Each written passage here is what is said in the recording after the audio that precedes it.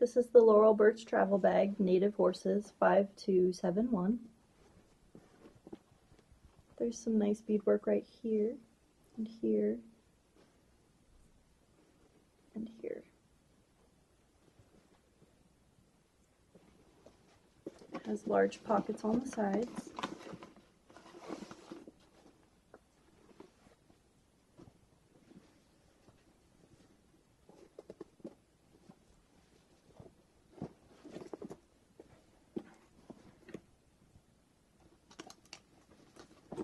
There's a zipper pocket with some smaller pockets.